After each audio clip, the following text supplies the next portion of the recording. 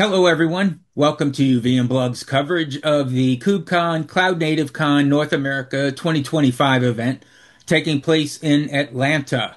As part of that coverage today, we're being joined by Brock Mowry, the CTO of Tintri. Brock, welcome to the show. Thanks for having me, guys. If you wouldn't mind, I guess just to kind of kick things off, uh, maybe give a quick introduction uh, to Tintri and uh, uh, maybe a brief overview of the technology before we dive in deeper.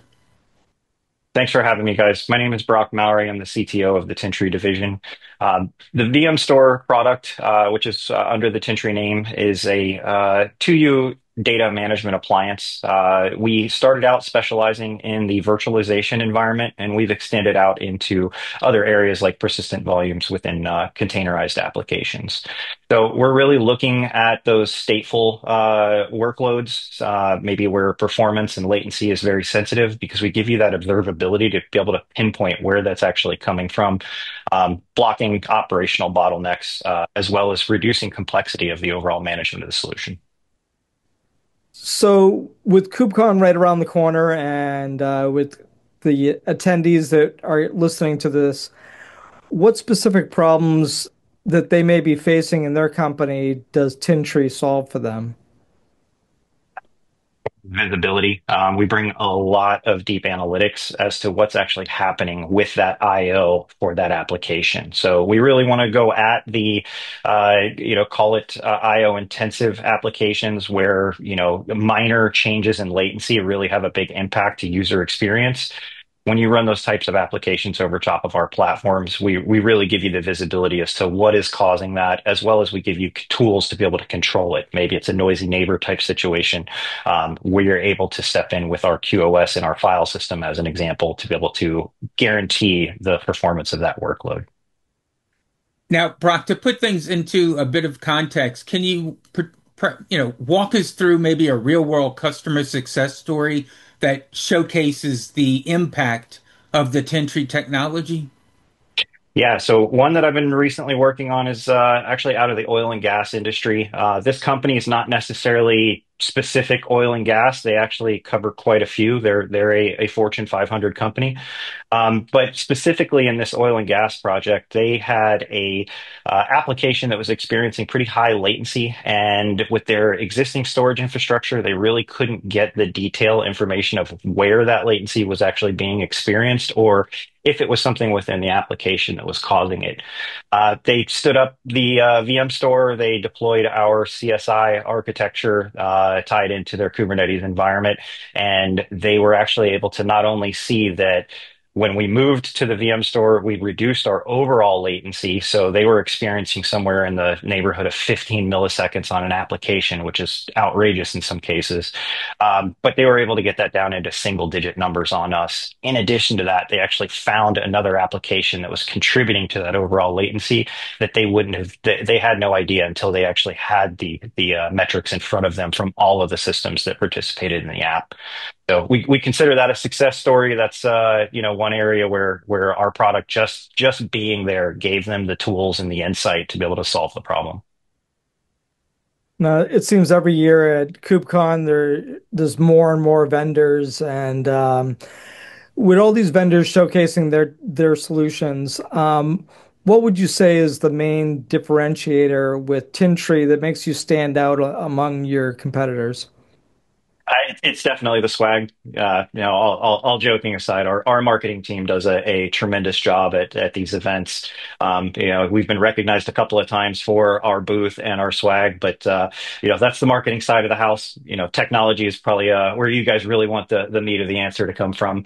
Um, the VM store, you know, what we see as a differentiator is uh, we are a true application aware platform. We tie into Kubernetes through the cluster API. We're able to pull metrics data data and make decision at the infrastructure level to benefit the application. So, you know, we we really are trying to build an appliance that makes the infrastructure operator's life much easier, uh, and you know, autonomous operations, uh, autonomous uh, performance tuning, so on and so forth. So, we really see that visibility within the platform and the ecosystem of tools that we're building around it uh, as our differentiator. You know, when you're looking at the data management space within Kubernetes.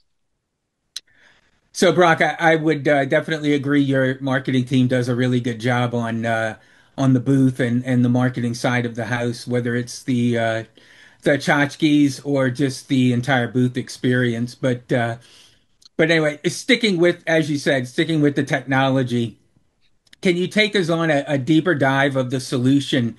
And by that, really looking more specifically for what kind of innovations or new features or things that you might be highlighting at the booth at KubeCon? The major kind of feature release here is uh, CSI integration into the VM Store platform. So we have uh, been working in the background on creating what we call a Kubernetes data service. So basically making the VM Store aware and understanding of Kubernetes infrastructures um, to be able to interact with it. And like I mentioned before, you know, do dynamic things based off of uh, performance metrics that may be coming into the system and so on. Um, you know, so we're really we're showcasing around the CSI, so dynamic provisioning, uh, persistent volumes, obviously the cleanup, uh, deprovisioning of that, and then uh, we also want to get into some advanced data protection features. So on the platform as a whole, we've introduced dual custody snapshot locking, which gives you an extra you know, security stance uh, that's been pretty popular in the uh, industry here the last few years. Unfortunately, there's some bad actors out there still uh, causing uh, causing trouble. Uh, so we're trying to be able to put enforcement items in place to be able to, to help businesses remain vigilant even under attacks. As we're nearing the end of the year and thinking about the upcoming year and your kind of your roadmap what are some of the trends that you see taking shape, um, and how is your roadmap aligning with these uh, these new trends and developments?